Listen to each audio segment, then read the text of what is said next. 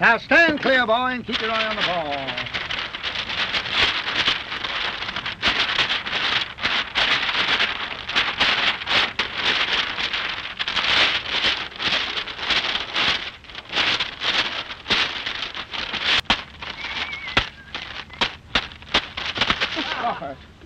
You stand clear and keep your eye on this ball.